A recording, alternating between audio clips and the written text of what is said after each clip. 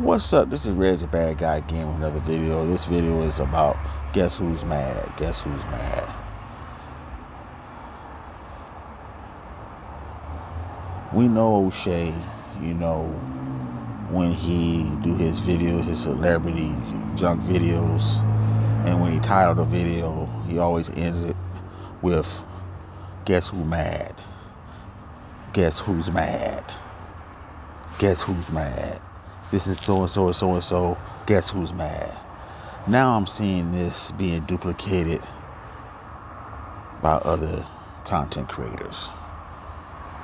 You know, Sister G, I think last video doing the same thing, and I think the Elder did a video with that phrase in it, in its title.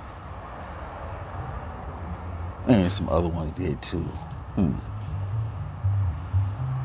I guess when people see a good thing, they use it, I guess.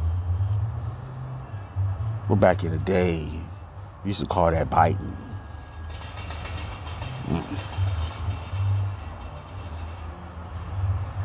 I think all of us at one point in time accused of biting, you know.